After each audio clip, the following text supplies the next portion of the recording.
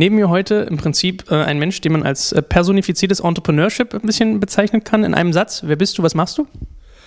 Ich bin Hochschullehrer und fand, dass man Entrepreneurship nicht lernen kann, wenn man nur Theorien verbreitet. Also deswegen selber gegründet, T-Kampagne schon vor 25 Jahren. Bin nebenher immer noch Business Angel in der ganzen Reihe von Fällen. E-Büro, Ratio Drink, Direkt zu, Paper-Z, ganze Anzahl. Also mal ganz spannend, glaube ich. Jemand, der aus dem akademischen Umfeld kommt und auch mal in die Praxis taucht. Vor mir, man sieht einerseits äh, mal so eine, so eine Teebox und andererseits auch ein Buch. Man darf dazu sagen, ähm, mit Gründerszene war das eine meiner ersten Stationen eigentlich. Ich weiß noch, äh, Sie erinnern sich vielleicht gar nicht mehr, aber ich bin mit, äh, mit Fotokamera hier lang gegangen und habe alles gefilmt.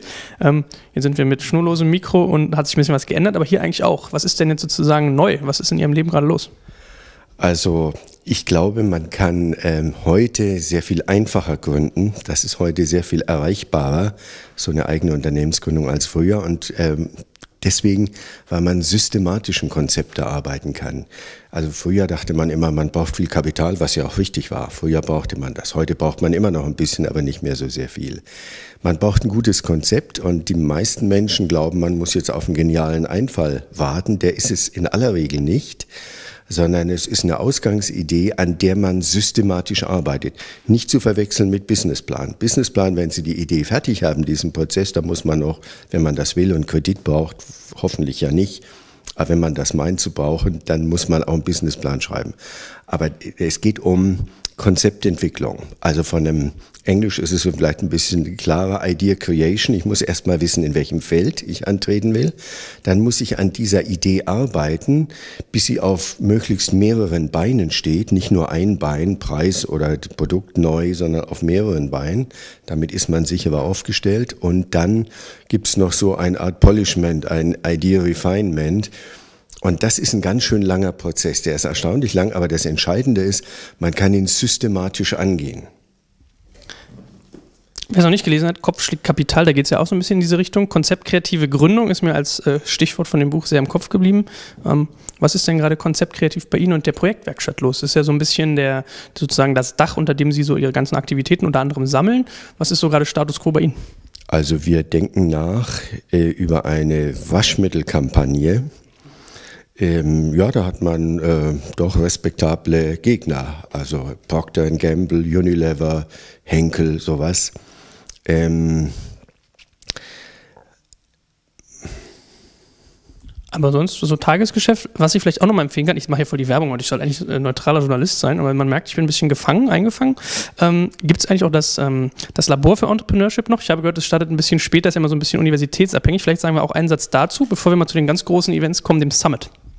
Labor für Entrepreneurship ist eine Veranstaltung, wo man dieses systematisch an einer Idee arbeiten erfahren kann. Äh, das richtet sich nach den Semestern an der Universität. Das ist immer noch eine Universitätsveranstaltung, obwohl schon lange aus der Universität raus ist. Äh, das ist der Vorteil, weil man meistens allein sich im Kreis dreht. Also man braucht ein Gegenüber, wie in einem Interview hier, und auch andere. Da haben wir so ein Speed-Dating für Gleichgesinnte die auch an dem Konzept arbeiten. Und das ist hilfreich. Also das schon seit über zehn Jahren machen wir das. Das ist sehr hilfreich für Gründer. Nicht nur lernen sie das Konzept äh, systematisch zu bearbeiten, sondern sie kriegen auch ein bisschen Gefühl für Kunden. Wir machen dann immer so Probeabstimmung. Wer würde das Produkt oder die Dienstleistung kaufen? Hand hoch, wer nicht. Das ist oft ganz erhellend. Wenn ich mich richtig entsinne, war es entrepreneurship.de, ne? Das ist entrepreneurship.de, ja. Super Domain. Gut, aber das ist ja sozusagen eher ein Event, was ein bisschen kleiner ist. Wir haben auch bei uns auf der Webseite schon berichtet, es gibt ja auch ein richtig großes, nämlich den Entrepreneurship Summit. Was hat es denn damit auf sich? Wir machen seit 2001 einmal im Jahr eine Großveranstaltung. Das macht meine Stiftung Entrepreneurship. Und das ist der Versuch, Gründungen, die nicht aus dem Hightech kommen, das sind ja gar nicht so viele. Die Medien sind immer voll davon, aber in Wirklichkeit sind das so 15 Prozent aller Gründungen plus minus. Und dann gibt es viele Gründungen, die sind so Selbstständigkeit, ein Malergeselle macht sich selbstständig und äh, in der Mitte gibt es eigentlich die entscheidende Anzahl, die in den Medien und in der Öffentlichkeit gar nicht so wahrgenommen wird, nämlich Gründungen, die auf einem Konzept basieren. Konzeptkreative Gründungen. Und das ist der Weg sozusagen, den die meisten von uns einschlagen können. Wer hat schon ein Patent? Wer hat schon ein Forschungsergebnis? Wer ist schon in diesem Hightech-Bereich gut aufgestellt? Das sind wenige. Und äh, Selbstständigkeit allein ist ein bisschen wenig, finde ich. Da kommt dann schnell dieser Satz, ähm, Selbstständigkeit heißt alles selber machen und das ständig. Und das vielversprechendste ist dieser Bereich der konzeptkreativen Gründung. Das ist unser Feld. Darüber geht der Summit. Also im Prinzip so ein bisschen ein, konferenzartiger Treffpunkt für Menschen, die irgendwo mit Konzepten an den Start gehen, die jetzt nicht auf etwas basieren, was hohe Einstiegshürden hat, sowas wie Hightech, sowas wie irgendwie patentorientiert ist, sondern wirklich so ein bisschen Gedankenaustausch und da sozusagen auch sich gegenseitig befruchten. Ja, und Anregungen bekommt, wie man systematisch an seiner eigenen Anfangsidee weiterarbeiten kann. Die meisten Menschen glauben, sie hätten schon eine Idee und gucken nach Kapital, aber in Wirklichkeit sind das so Einfälle, Anfangsideen, die sehr riskant wären umzusetzen. Ich sage immer oberägyptisches Restaurant.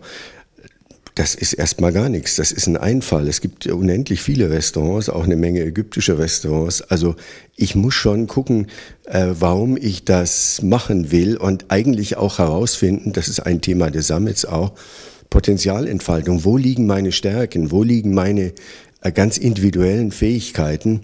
Wenn jemand kommt und sagt, ich möchte ein oberägyptisches Restaurant gründen, dann frage ich immer, warum Ägypten? Und dann kann man gucken, was an Ägypten, die Kultur, die Landschaft, die Menschen, äh, die, die Geschichte äh, eine Rolle spielt. Und ich kann fragen, äh, warum Restaurant? Weil ich gerne mit Menschen zusammen bin, dann frage ich nach, in welcher Form denn und wann fühlen sie sich besonders wohl und was regt sie da besonders an? Oder es ist Kochen, dann muss man über Kochen sprechen. Ich habe die Erfahrung gemacht, wenn man so vorgeht, dass man dann oft bei was ganz anderem landet, eben von der Anfangsidee entlang seiner eigenen Stärken und natürlich auch Markteinschätzung, Marktbeobachtung zu etwas viel soliderem kommt, worauf man eine Gründung sehr viel besser aufbauen kann als auf diesen Anfangsideen, die sehr häufig sind, die man leicht generieren kann, aber die nicht wirklich ausreichen zum Gründen. Hm, wann weiß man denn eigentlich, dass man bereit ist, sozusagen zu starten? Und gibt es so eine zentrale Frage, die man beantwortet haben soll, bevor man Unternehmer wird? Also ich sage immer, man spürt es im Hintern, ob man äh, äh, reif ist zum Gründen. Wenn man wirklich eine Menge durchdacht hat und auf Punkte gekommen ist, wo man dem, was draußen im Markt schon passiert, überlegen ist oder sogar stark überlegen ist. Denken Sie an die Teekampagne. Wir hatten ein Drittel des Preises äh, dessen, was die Teehändler im Markt verlangten damals. Dann hat man ein ganz starkes Argument und dann kann man nicht mehr ruhig sitzen. Dann will man das machen. Das ist wie ein Kind, das nach acht Monaten nach neun Monaten, Männer kennen sich da nicht so genau aus, praktisch ins Leben will. Ich nenne das deswegen auch Ideenkinder. Es ist ein Ideenkind, das ist auch eine Weile gewachsen. Die Kampagne passierte auch nicht über Nacht, habe ich lange daran getüftelt und dann ist es so weit, dass man wirklich nicht mehr still sitzen kann und dann muss man es äh, ja, gründen und dann geht es los. Aber diese Phase vor dem Gründen, die wird oft viel zu wenig wahrgenommen oder die kommen viel zu kurz und dann sind die Gründungen ein bisschen kurzatmig. Jetzt haben wir vom Summit schon gehört, dass es so ein bisschen da geht, sozusagen darum geht, diesen ganzen Kosmos darum, um dieses Thema aufzumachen. Wie läuft der denn von der Art her ab? Ist es eher Vorträge mit bekannten Speakern oder ist es mehr so ein bisschen auf Workshops, Seminare? Ist es mehr auf Networking ausgerichtet? Was ist sozusagen so der Modus, nach dem das erfolgt? Also wir nennen das Impulse. Es gibt Keynotes, aber äh, wenige. Es gibt äh, viele Impulsgruppen, über 40 Gruppen die sozusagen mehr zugeschnitten sind auf die Bedürfnisse des einzelnen Gründers. Ähm, es gibt Podiumsdiskussionen über umstrittene Themen. Wie fördert man richtig und was sollte man eigentlich fördern? Wir haben ein interessantes Thema, Medici-Effekt. Kann man nicht sowas wie den Medici-Effekt für Berlin generieren oder ist er nicht schon da und können wir da nicht mehr drauf aufbauen? Äh, das sind so die Themen. Aber es ist insgesamt mehr eine Werkstattatmosphäre. Wir haben große Pausen. Wir versuchen auch, die Menschen miteinander zu vernetzen, also ein bisschen Hilfestellung dafür zu geben. Und äh, insgesamt geht es darum, wie ich von meinem Einfall, meiner Ausgangsidee sozusagen ein Stück weit ein solides Konzept aufbaue. Machen wir mal ein bisschen harte Fakten. Äh, Ort, Datum, Zielgruppe? Samstag, Sonntag, 29. 30. Oktober im Henry Ford Bau der Freien Universität Berlin. Übrigens ist Henry Ford äh, für mich eine der ganz besonderen Erscheinungen des Entrepreneurship und gerade der, in der Phase vor der Gründung. Er hat ja 18 Jahre an seinem äh, Automobil gebaut und ge, ge, ja nicht gebaut, sondern getestet und probiert und also 18 Jahre lang, das muss man sich mal vorstellen. Das kommt immer in den Biografien nicht vor. ähm, ja, freie Universität. Zielgruppe.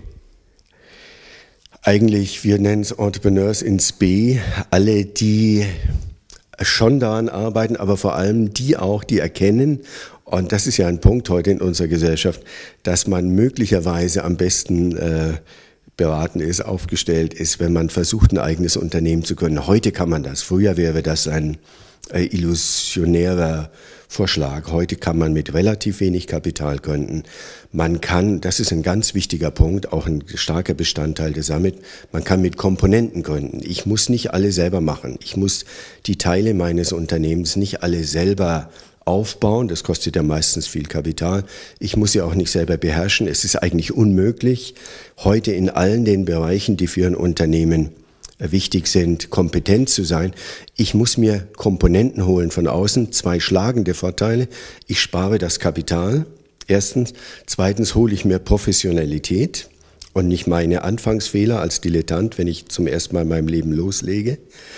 Und ich habe natürlich Professionalität, äh, das kostet was, hat einen Preis.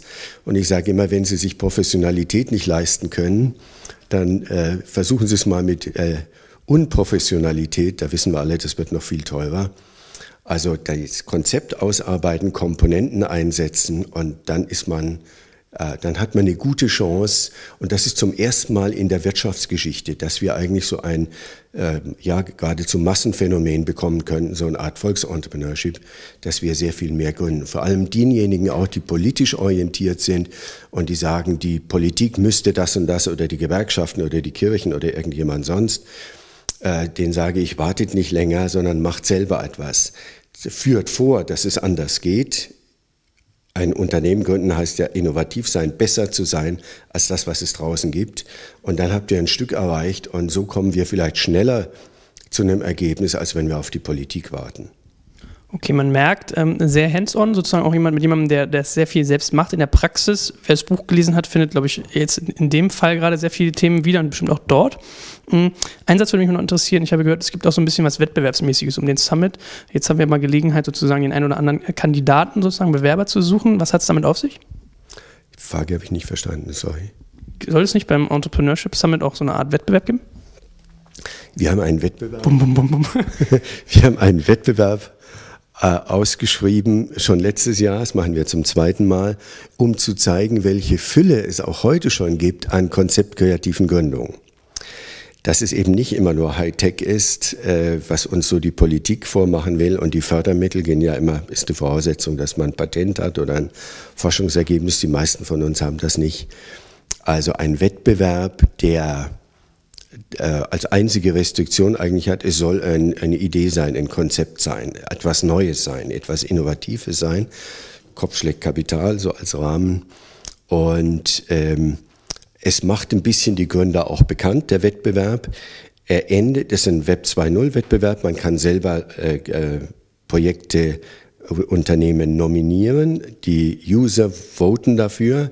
Wer die meisten Stimmen bekommt, bekommt einen Preis beim Summit. Und zwar das Labormännchen. Das ist das, dieser Künstler, der auf einem Stuhl balanciert und äh, wo gezeigt wird, es ist ein Balanceakt. Man muss vieles äh, sozusagen gleichzeitig zum, zur Balance bringen bei einer Unternehmensgründung.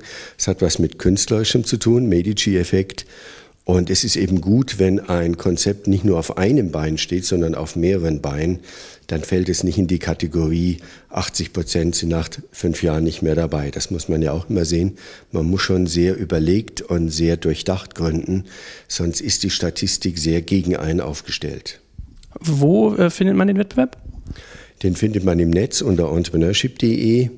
Sie können selber nominieren, wenn Sie aus Ihrem Umfeld etwas kennen, was man konzeptkreativ nennen kann, wunderbar, dann zeigen wir mal, dass es einen Bereich gibt, der in der Öffentlichkeit und in der Wahrnehmung der meisten Menschen viel zu kurz kommt, wenn er überhaupt äh, äh schon erkannt ist.